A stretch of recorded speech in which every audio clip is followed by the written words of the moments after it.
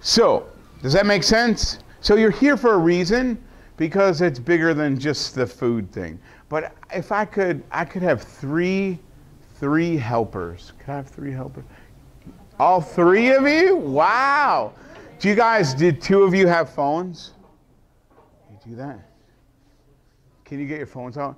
Could you, could you move down like two seats so I just don't like the camera? Um, okay, so here's what I need. Can you set your timer for 10 minutes? Okay? And can you set your timer for 20 minutes? Right? And you know, we'll do both. If both of you guys say, when your timer goes off, just say, who cares? Is that fair? Just do that. And, and what's your name? Yeah, start them now. What's your name? Okay, can you do me a huge favor? Are you fast? You fast? Kinda? No? Okay, that's good because I don't want to run fast anyways. If I start, this is very emotional for me because I'm going to go into a lot of stuff that happened to me. So if you could be so kind, if I start crying, could you just stand up and smack me in the face? Knock that cry right out of me. Can we do that? Perfect. Okay. You guys know the difference between broccoli and boogers? Yeah, kids won't eat broccoli. It's weird. It's weird. That's the only plant joke I know. I'm sorry. Okay, so I'm going to tell you guys my story for a little bit, for about 10 minutes, okay? I'm going to tell you my story for about 10 minutes. Um, so, some of you know this, some of you don't. You know, I've been in the newspaper, I've been on TV, um, I've been on live radio, I've been in a couple magazines. It's pretty crazy.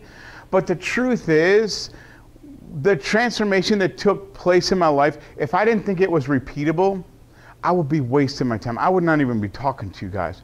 What happened to me over the course of a few years is out there for anyone.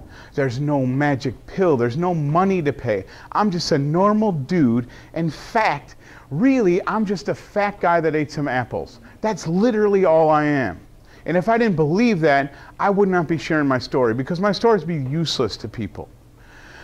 So I'm gonna like skip kind of for now, I'm gonna skip the first part of my life and I'm gonna go right into age 38 because by age 38 is kind of where my transition started. At 38 years old, um, I weighed over 400 pounds. We don't really know how much because they couldn't weigh me. The scales didn't weigh that much. I was super sick and my life sucked. Um, this is what I looked like. I was a mess. See how happy I wasn't? You know what I mean? Um, everything at 400 pounds is harder. If you think about your weight and add whatever you have to to weigh 400 pounds and come up the stairs, get in and out of your car, bend over and tie your shoes. I mean, that's a workout. I don't know how many people can do that. That's hard. That's the stuff, the physical stuff you see, but what you don't see is the emotional stuff. My wife and I got married at a very young age. We were 19 and 20. We were high school sweethearts. I was supposed to be her protector, her provider. You know, I was supposed to take care of her. And here I was at 400 pounds, sitting in a chair, sitting on the couch, watching Netflix. Well, she's out mowing the lawn. So yeah, there's physical stuff, but there's also that stuff that I'm not doing my job. I couldn't play basketball with my kids. I couldn't run around outside with my kids. You know, if my kids were going to run out in the street, I don't know if I could catch them to save them. So there's that kind of thing too. Um, so things were pretty bad for me. Um, also, I was diagnosed with a, with a joint disease where my joints dislocate a lot. So if you ever twisted your ankle, that's what kind of happens to me all the time. And they started realizing it's not just me being clumsy, I had some serious stuff going on.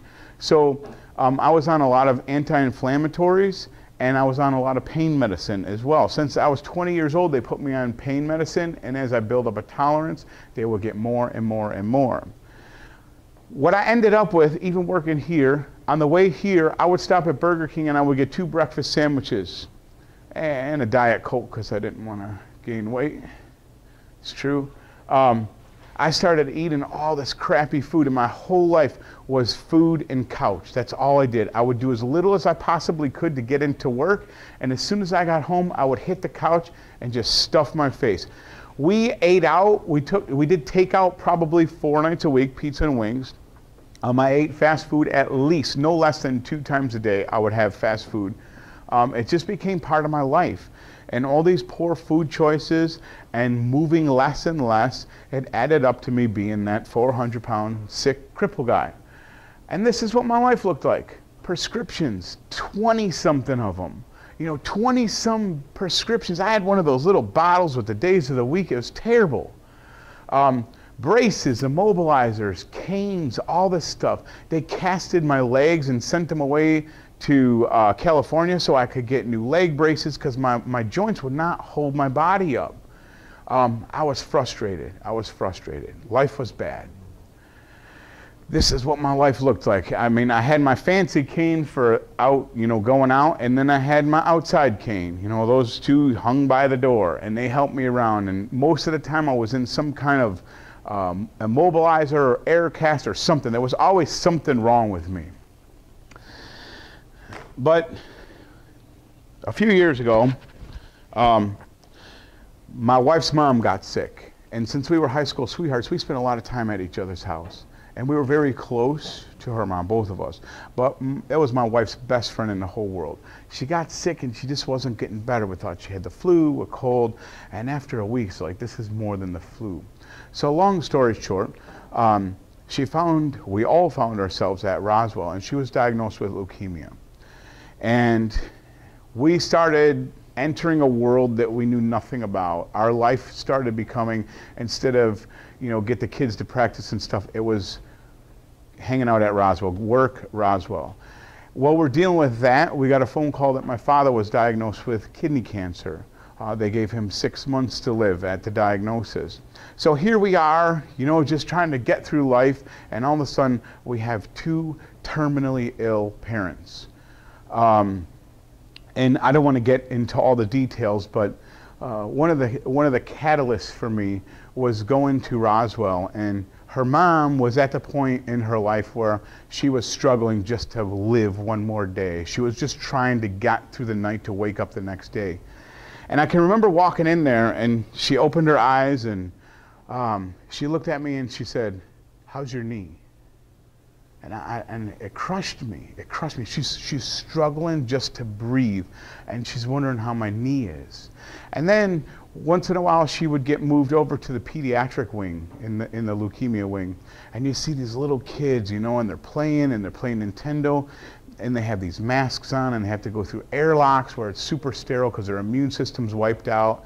And here's me, you know, and I'm hurting, I'm hurting so bad. And I started thinking, I'm I'm an idiot. I'm an idiot. I'm walking away from Roswell. The door slams behind me, and I get to go home, and no one else gets to go home in there. Well, I'm complaining about how bad my knee hurts. Someone just got their leg amputated. They'd love my knees, even if they're not working right. And I started finding gratitude and I started giving up that bitterness, that bitterness at like how bad I got it, how, how terrible my life is. And I started seeing things through a little bit of a different lens that, yeah, my legs hurt, but I got legs. And yeah, it sucks to get off the couch, but no one's helping me out of my hospital bed. You know, no one's taking me, to, no one's bringing me a bedpan. Like there was stuff, I still had a family, I still had a wife that loved me, I still had two kids. So I had good stuff, but I was so focused on all the crap that I was going through, I kind of forgot about that. We, long story short, um, my wife's mom passed away, and um, my father, that they gave six months to, he made it six weeks, and he passed away. He was my best friend in the whole world, and it was terrible. It was a terrible time in our life, and um, things kind of settled down for us a little bit, and um, my wife used to put my socks and shoes. That's why I put these in here so I don't forget to tell people this.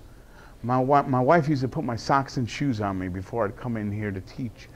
And I can remember after things settled down, I looked down at her and you could still see the pain, you know, in her eyes. And I knew that within a year, if I wasn't dead, that our marriage was going to look a lot different because somebody was going to have to take care of me. If I can't put my shoes on this year, what's next year going to be? And I feel like in a little bit of a way, I had stuff wrong with me and I had excuses, but in a little bit of that, some of that was my fault. I wasn't trying. I wasn't trying at all. You know, I, I just watched my mom and my dad struggle every day just to live, and I didn't have that. I didn't have that struggle. I didn't have that. So I said, I have to do something. Like, this isn't about me. This is about my wife losing another person that she loves. So what I did is I did some research, and I found out that you can get this bariatric surgery, like a gastro, gastric sleeve or a lap band, and I thought that's going to be what I'm going to do. So I went and found out all the information. I got a packet of paper. I did the meetings. I was all set. And all I had to do was go to my primary doctor and have him sign off on it. And my wife and I went in there. We sat down with him, and he's like, No, you're too sick. First of all, I was on so much medicine. I was on this thing called fentanyl, and it's super, super, super crazy. It's stronger than morphine. And what they were worried about that the anesthesia wouldn't even work on me. They'd have to give me so much. They were worried about my heart stopping. My blood pressure was already 255 over 115. My numbers were off the charts. And then the other thing was, if I lost a lot of weight, they were worried I would get so weak I would never get out of a wheelchair. See, my doctor's job was to keep me out of a wheelchair for another 30 days. Thank you very much. Thank you. You didn't even, you can yell in 10 more minutes. So um, we walked out of there and I thought, this guy just killed me. He just literally signed my death warrant. I'm done. I'm dead. He killed me. And I thought, I'll do, I'll just do one try and see if I can do this on my own without the surgery. Um, so I did what everyone does, right? I mean, this is what people do. We diet. We go on diets. And I started logging down my calories and watching what I ate. And I was still eating crappy food, but at least I was uh, like looking at it. Um, I started getting rid of the red meat and bringing in the turkey and the chicken. I started getting rid of the cheddar cheese and I'd bring in mozzarella, like a lower fat. And I did start adding some fruits and veggies. And instead of getting two biscuits from um, Burger King, I, I, would get like one and eat a couple bananas. You know, I was trying to make some kind of changes that I knew, but I didn't know much about this stuff. And then I started moving. I figured if I can, if I can get to my truck, yeah, I'm out of breath when I get in there, but maybe I could do it twice, and maybe I could walk to the driveway. You know, things like this. But those little changes at 400 pounds and probably eight to 10,000 calorie intake a day, those little changes, I started losing weight but I wasn't really feeling better. Um, so one day I'm sitting on the couch, like I did a lot, and this movie came up in my queue that was called Fat, Sick, and Nearly Dead. And it's about this guy from Australia. He comes over to the US and he takes fresh fruits and veggies, he puts them in a juicer, and he drinks this juice, and that's all he does for 60 days. Well, what happened over the course of this film, he lost 60 pounds, he got off almost all his medicines and he had a really rare condition that was supposed to be incurable that he got rid of. Well, by the time the credits rolled, I already ordered a juicer because that's what I wanted to do. And I started juicing and it was fantastic. Six days into it, I felt like a different person. I started sleeping through the night. I hadn't done that in years. I started having more energy. I started hurting less. I started to want to do stuff. But at the same time, I knew that I couldn't juice the rest of my life. That's just not sustainable. You can't live on vegetable juice and no solid food the rest of your life. But because I watched Fat, Sick, and Nearly Dead, all these other movies came up in my queue. And I think you guys just watched Fed Up. The one that really did it for me was Forks Over Knives. I watched that movie and I've never done this in my life. I got to the end of that movie and I started it over again my mind was blown that you could actually live without meat and dairy and processed food. It didn't make sense to me. I never heard this before. I started eating better foods, and the better food that I ate, the more results I got, and the more results I got, the more I wanted to get better at this thing. So I started eating good food, and then instead of sitting on the couch while my kids went to practice, we started going outside, and I started walking, and I started hiking but that's not yet. But this is what I was. This is me. This is what I was. Crutches, immobilizers, all this nonsense. And once I started making a change, things started unsnowballing as fast as they snowballed. This was the first walk. This is probably the most memorable walk I've ever taken. This was my first walk where I moved on purpose. Me and my wife set out. I made it 0.74 miles. And I conked out and she had to come get me And that took almost an hour to go 0.74 miles. I was super proud of myself, but when I came home, I had to pack my legs in ice. I got a whole bunch of medicine out. Um, I was hurting, but I went back and I did it again. And the thing is, I love the outdoors, so I started walking outside. I started finding places around here. I lived here for 40 years. I never knew places like this existed. Little Rock Park City, you know, Ellicottville. We started exploring everywhere. Some things in our backyard, even some things in Williamsville. This is Glen Falls. I had never been there. Me and my daughter went for a walk there, and I walked with my son at Letchworth in the winter. Super, super cool stuff. Once I was walking outside, um, I had a friend about a year before. Um, he had went to the Adirondack Mountains and he climbed a high peak. And I thought that was the coolest thing. And I sat in that plastic chair, 400 pounds, and I said, I want to climb a mountain. And like people are like, yeah, okay, climb a mountain. And I said, I want to do it in one year. Well, as I started walking, I started purposely finding hills to walk. And little less than one year later, on July 6, 2012, I summited Big Slide Mountain. It was one of the coolest things I've ever done in my life. It took about nine hours of hammering up that mountain, and I made it to the top, and it felt so good. I really thought I was going to die a couple times, but we made it. I liked it so much that I went back and I told my family, you guys got to see this. So since then, man, me and my family climbed up a couple of mountains, and then we did a couple high peaks together. And uh, I just started enjoying the outdoors. I started enjoying the Adirondacks, and, and the, the more fit I got, the more I was able to do. And sometimes I was doing three mountains in a day, which is insane. And then as I'm walking, I started feeling a little bit of extra energy. I got a little bounce in my step, and I'm like, I wonder if I could run. Like I'm not supposed to walk. I wasn't supposed to be walking much less walking in the woods, much less climbing mountains. I wonder if I could jog. So I went out, uh, we saw this thing on TV, the Tough Mudder, and I said, we should sign up for that. So I got a few people crazy enough in my family to sign up for me. And once I signed up, I'm like, we got to run. Like, we got to learn how to run. So I started on this trail. And I'd run probably, honestly, probably from here to here, and I'd throw up because I just wasn't used to it. But the next time I went back, I went a little bit farther than I did the day before.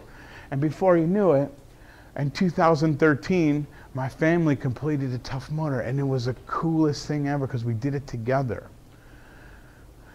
Then I said, well, if we can run the Tough Mudder, let's try a 5K. That'll be cool. And this was one of the coolest races I've ever done. Um, we set out on a mission to finish a 5K without walking at all. And we did, and it was amazing, and we did that together. And then we signed up for a 10K and we did that. But this, who's, who's, you ready? Are you ready to hit me? Be ready. This race was probably one of the most memorable moments of my life. On the back of that handicap pass, which by the way is, was still valid at the time, I could have legally parked in a handicap spot when I pulled in to run this half marathon. I had my mother-in-law's picture and my father, and I had my family, and then I had a picture of a friend that was struggling with uh, thyroid cancer who since passed away, and I had taped them on there, and I tied that thing around my waist. And I completed the half marathon with a valid handicap pass, and that was super cool for me. Um, actually, it was in the paper, and Maskinnis was there for that one. It was a super, super cool day, a day I'll never forget. I picked up a bike. I wanted to do a 100 mile bike race. Um, so I've done a couple centuries. I did a metric last month through the mountains. It was insane. Um, and my joints that were so weak that couldn't hold me up, um, I started deadlifting almost 500 pounds. And I couldn't pick up chalk. And this was super cool too. This was a cool day last year uh, in May um, I had an opportunity to finish the Buffalo Marathon, and I did it with a bunch of friends, and I put Miss O'Royal right there because she'd be mad if I didn't, but it was great. It was a great experience, and the newspaper was there, and they made a big deal out of it and all that stuff. How we doing on the 20? Um, A minute left, that's perfect. And so, yeah, so this is all super cool. And I got some medals, and, and actually, the state legislation actually shut down and they made a resolution to recognize my hard work. And that was cool. And i have a film company come out over the summer and they're making a film out of my story. And you know we had drones chasing and all that stuff is cool. It's all cool. But it's that's not really the point the point is the super cool thing is that this is a picture of me and my wife and i remember this day like yesterday we were at the henry ford museum and i can remember getting up in the hotel room and I tried so hard to get my socks and shoes on, and I couldn't do it. And I had to say, "You help me out." She put my socks and shoes on, right? Check this out. Check this out. So get ready. Get ready. But here's the cool thing something I always wanted to do. Mount Washington is the highest peak on the East Coast. And I said, you know what? I want to climb that mountain. And my wife said, I think I can do it with you. So, August, just a couple months ago, she went from putting my socks and shoes on, and I got to put her backpack.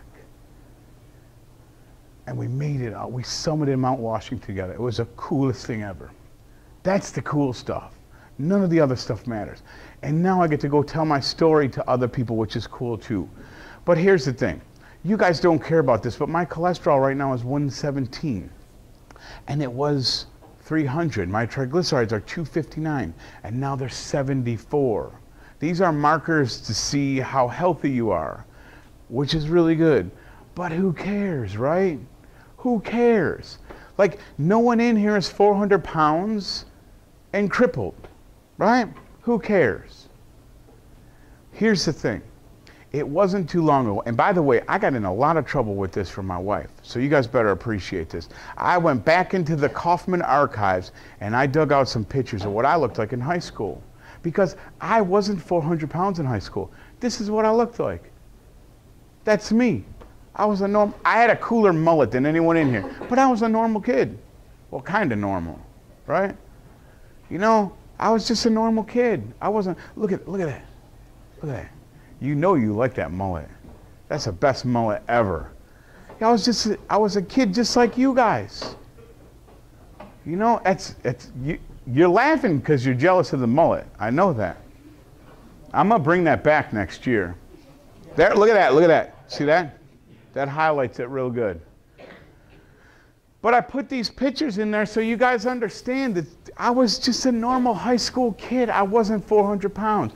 But here's what you need to know the choices that you make in high school, they follow you the rest of your life. You are free to choose whatever you want in the school while you're young, but you're not free from the consequences that it's going to happen later on in life. So here's the thing. If I could walk in here and say, I want everyone in here to not eat meat, not eat dairy, don't do any processed food, and eliminate all oils from your diet, you guys could all shake your head and I could go home. But I know you're not going to do that because there's McDonald's down the road. There's Bocce's. You got Mighty Taco, right? All these things that you think are food that aren't really food. It's true. But here's the problem. Oh, wait, we'll get to that in a minute. Here's another thing that you should worry about. So, who cares? You ask me who cares, I'm telling you why. Right now in the US, 30% of all Americans are at a healthy weight. 30%. That's crazy. The other 60 are overweight, and out of those 60, 30% are morbidly obese, which means they it could be life threatening, their weight. That's insane. Here's another thing. We spend $300 billion a year on this obesity thing. Heart disease, stroke, cancer, lung disease, these are all things that obesity puts at a higher risk over 70% or almost 70% of Americans are on some kind of prescription drug. And out of those 70%, 50% of those are on two or more. That's insane. We're getting heavier, I'll say it, we're getting fatter, sicker, and more unhealthy every single year. But we keep dumping more money and more technology. And here's the thing how come? How come? Why is this happening? Why? I think personally, I don't have any education on this, but I think what's happening is we keep looking for the cure. Everybody wants to find a cure, but no one wants to find the cause. So instead of asking what the cure is, let's find out what the cause is. And here's the thing I usually spend a lot of time on this slide, and I'm not going to today. I'm just going to pick out one thing. Anybody have a bird feeder at their house? Bird feeder. You got a bird feeder? Yeah. How much food do you, measure the food to put in there? No. You don't measure it. I can estimate it. You ju- do you just dump it in? You just fill it. Yeah. Do you you only fill it certain days when it, you just keep it full, Yeah. right? So you don't want the birds to starve. So the birds can eat all the food that they want, right? They can eat all day, right?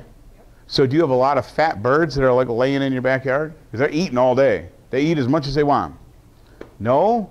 Do you have any birds that are on those scooters? No? None. Any hunters in here? Jason, you ever climb out of your stand and see a huge deer with a muffin top? No? Anybody fish? You, you ever see a largemouth bass with cankles? No? Double chin? No. Because here's the thing. Those, and I live in Alden. There's so many cornfields, it's crazy, right? We have deer running all over the place. There's unlimited amount of corn, but there's never fat deer. There's never crippled deer. There's never sick deer to a point. Because they eat the food that was designed for them. And when you mess with that, that's when you have problems. You have fat dogs because you screw with their diet, but a dog in the wild is not going to get fat. Fat birds. Yeah, I'm not going to touch the other things, but I could. Okay, so here's the problem. We know what foods, you guys have been hearing this since you were little. Eat your veggies. Like, you know that. You already know that. But the problem is, society has ingrained in our head, well, we're already at 20 minutes. I got to hurry. This stuff that milk it does the body good, right? I'm not even to get into the fact that that's the weirdest thing ever that we're a species that drinks another species milk and we're the only species that drinks milk as adults. Like that's just all weird, but I'm not to go there with that. But look at this. Who any runners in here? Runners? You oh, man, you're everything. You're you're the best assistant ever. So what do you run cross country? I run 5K. A 5K. So you run a 5K, right? You're tearing, you know, you're getting that last kick in before the finish line, right? You cross the finish line and I hand you a chocolate milk. You gonna drink that? You are. It's, it's soon to. Susan, it will end up on my shoes if I drink it. It will. Like I want water. It's the same with football players. You guys see this Gatorade stuff? They're not drinking Gatorade. They're drinking water. But we see this. This is like the magic potion. You know, it's a magic potion. Same with meat. Oh, oh, by the way, first of all, you guys know how they do laboratory testing on like rats and that? You know how they give them cancer? With something called casein. Casein is the most cancer promoter ever discovered. Guess what it is? Milk protein. When you got whey protein, that's what it is, right? But no one will tell you that. Here's another thing. You need meat to get big and strong, right? We need protein. It's all over. It's all over the place. But what you don't understand, because people don't talk about this, that just a half a serving of red meat, you have a 48% higher chance to get type 2 diabetes. But everyone associates sugar with diabetes, not meat. But no one's going to talk about that because the wonderful beef industry. I even found an advertisement for hot dogs. You know how I started this presentation out? I told you, let your food be your medicine. They use that to tell you how, how healthy hot dogs are. Look at all this stuff 30% B12. Look at it, it's so good for you. It's a health food. Here's my problem with uh, what time do we get out of here? I'm sorry. Okay, here's the thing. When I first heard about plant based diet, I knew nothing about it. And I'm kind of glad that I didn't get stereotypical thinking going. But here's the thing most people see a plant based eater or a vegan as this guy. That's what they see, it's true. And they think that they eat this stuff, right? Munching on spinaches or licking the bottom of a lawnmower. But here's the truth some of the best, most elite athletes in the world are plant based, or you could call them vegan, okay? Some of the fastest runners, best fighters, biggest bodybuilders. And Germany's strongest man, Patrick Baboumian, hasn't eaten meat or dairy in over 15 years. The dude has a 1,300 pound yoke carry. Like he picks 1,300 pounds and he walks across stage with it. He is an animal, pun intended. The other thing is the food. Everyone thinks that plant based people just eat salads. This is my food. I got to go fast. There's about 30 slides in here and I'm starving. But this is the food that I eat. I take pictures of this every night. None of this food has meat, dairy, oil, nothing processed. I make everything at home. It's all just plants from Niagara Produce. This is where I get this stuff from. This is it. Does that look like salad? Does that look gross? This is good food. I'm starving looking at this. This is good food. But here's the thing none of that stuff matters. Because remember, I told you there's three things that you need to walk away from. I've never done this before on any of my talks, but I'm going to do it today. And this is why you guys are here. First of all, I think goals are so important. The society that we live in, we use technology and money to make life easier, right? It makes sense what we do. Technology makes your life easier. The problem is you get your life so easy that you don't struggle and you try to accomplish everything the easiest way out. So my advice, set some goals and chase them with everything. You'll feel better about yourself and you won't have to count on other people for yourself or for your esteem. The other thing, this is huge, and I don't really talk to people about this much because this is something I have in my closet that I don't want anymore. Um, addiction is a terrible thing. You know, food was a big addiction for me, but I had many addictions. And I can tell you this they don't start off with no one, no one, there's no one in the world that starts off and says, I want to be a, a, a crackhead living on the streets. No one does that. It doesn't start off like that. It's a trap. And the thing is, sometimes you feel like you need to escape because life is so bad. And you take that one thing to make you escape. It doesn't matter if it's food, it doesn't matter if it's drugs, it doesn't matter if it's alcohol, it doesn't really matter what it is. But that one thing that you're counting on to escape, and it turns into a trap because the very thing that you're using to try to escape, you can't escape from once it goes too far. So, my advice if you feel like you need to escape life, go talk to somebody. You guys are so lucky. You guys are in such an awesome district that you can go talk to anybody. Talk to a friend's parent if you can't talk to your own parent. Just talk to somebody if you feel that need to escape. The other thing, and this is huge too, um, there's always hope. No matter where you are in life, no matter where you think you are, there's always hope. And here's the thing I don't think I was suicidal so much but there were many nights I'd go to bed and I didn't care if I woke up in the morning. I, I had two kids, a wife, a job. I'm a teacher. And there were nights I went to bed and I'm like, I don't know if I'm getting up in the morning. And I, honestly, I don't know if I cared. But if I would have made a stupid decision, I would have never been able to have this. This is this week, this weekend. Me and my wife just, she did her first half marathon. I'm happy. You know, and, and at this point, I really didn't feel there was any hope in my life. I thought I'd be dead. So don't give up. Don't give, there's always hope, no matter what kind of what kind of a mess you think you have yourself into, there's always hope. Okay, the last thing I'm going to say, and the text is messed up, I'm sorry, so you have to trust me what it says. You know, every single person in here is an intricate piece of this world. And every single one that says that says we all matter. Believe me, it does. It's weird. There's a rake and stuff in there. But we all matter. Every single person in here matters in this world. We're all a piece of the puzzle. Okay, I think I did it. I think I did it. Any questions? No, I did that good that no one has questions? At least, yeah.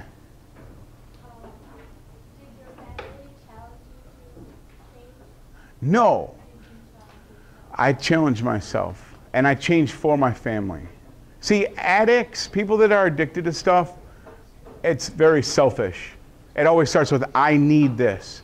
So when I shifted my focus to my wife needs me because she just lost her mom, it, it became more about her than me, you know?